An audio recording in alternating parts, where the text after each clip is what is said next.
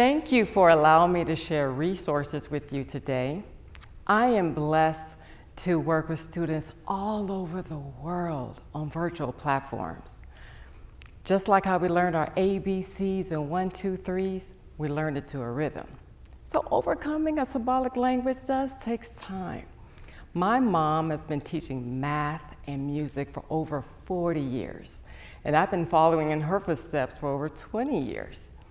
When I enter into a classroom, I recall this math acronym, M-A-T-H.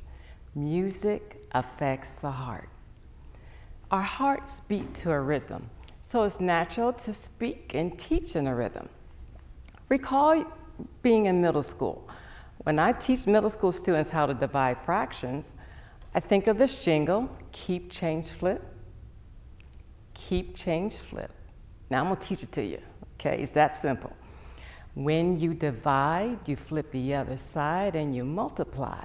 Now simplify. Mm, keep, change, flip. Okay, so we're gonna try it one more time. If you wanna clap your hands, tap your feet, or snap your fingers to the beat. Uh, keep, change, flip. Keep, change, flip. When you divide, you flip the other side and you multiply. Now simplify. Mm, keep, change, flip. One more time. Keep, change, flip. Mm, mm, mm, mm. When you divide, you flip the other side and you multiply. Now simplify. Mm, keep, change, flip. So if you don't have a instrument, you could use your fingers, you could clap your hands and tap your feet what I was encouraging students to do is to keep the first ratio when dividing fractions.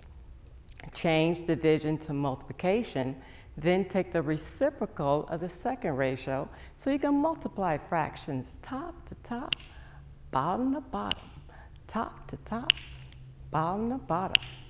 When working with high school students, now recall back to your days in high school, right? It was very challenging and we incorporate some music and rhythm. In geometry class, there's three concepts that are similar in patterns. You have the distance formula, you got the Pythagorean theorem, and the equation of the circle. The distance formula, as we know, the difference of x squared plus the difference of y squared equals d squared. That's distance squared.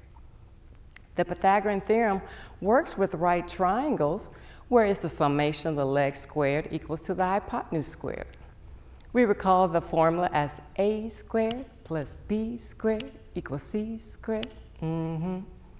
which ties right back into the equation the circle, the difference of x squared plus the difference of y squared equals radius squared. So, working with middle school students, just like high school students, now let's talk about the college life. When mentoring college students, if they're interested in going into the teaching profession, I tell them there are multiple styles of teaching. Find what works for you and stick with it. Howard Gardner wrote a book on multiple intelligence where students can adapt to. I choose to use math and music together in the classroom since I'm a musician.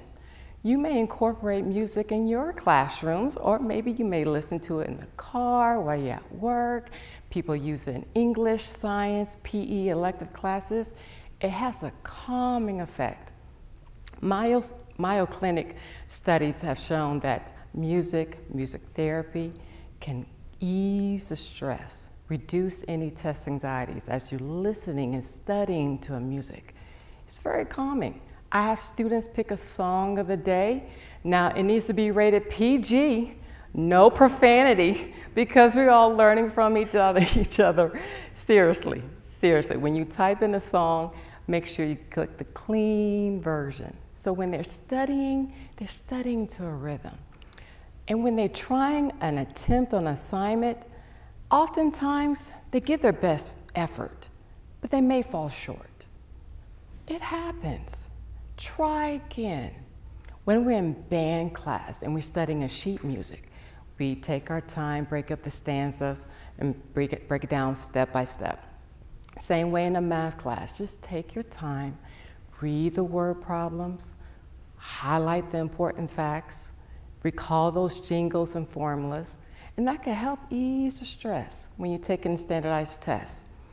We want more students coming into the education field. Oftentimes they getting certified and may fall up short, and it's okay. Try again. Let's not give up when facing difficulties. Overcoming the symbolic language does take time. It really does. I use music and rhythm to help me in my math studies, so I'm hoping that it helps you too.